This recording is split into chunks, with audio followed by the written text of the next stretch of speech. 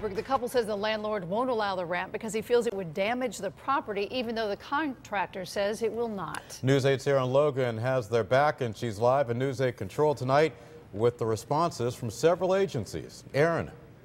Keith, and there are many people who want this ramp in place. We told you that the couple has already paid for it out of their own pocket. Now they're just waiting for the property owner and a neighbor to budge just a little. Just days ago, Don and Robin Paul were told no after the second attempt to put an aluminum ramp outside their home. We all have two spots. Take that out and turn that off. Well, no from the neighbor because she doesn't want to move her car a few feet. And no from the property owner with no real explanation. You've got me ticked off. But now some yeses. Even the uh, Human Rights and Opportunity said this is outrageous.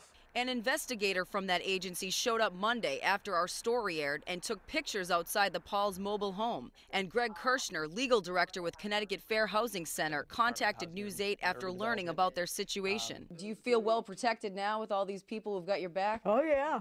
Oh, yeah. It is an example of a problem that we see arise quite frequently for people with disabilities. We met with Kirschner and had a conversation with the licensed contractor over the phone who the Pauls hired, Brian Collins of Collins Medical Equipment. A permit's not required for an aluminum ramp Collins explained to Kirschner that he's offered several suggestions to the property owner who just doesn't seem willing to work with him. Certainly, it appears that it's even less of a burden if it's not a permanent fixture. So, what would be a reason why a landlord would say you can't have a ramp? Well, th that's hard to say. What a legitimate reason would be would be something that would cause some sort of extreme burden on the landlord that would somehow greatly affect the property. The couple has already filed a complaint with Housing and Urban Development. They responded quickly. As for the property owner, when we arrived, there was a closed sign in the doorway waving. We wanted to ask if he's heard back from his attorney since we haven't. I would prefer just not to even have to go to court or anything, you know.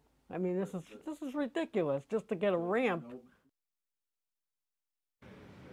Now the Pauls feel confident that with all this help that they will get that ramp installed by Christmas. Again, we are still waiting to hear back from the property owner's attorney.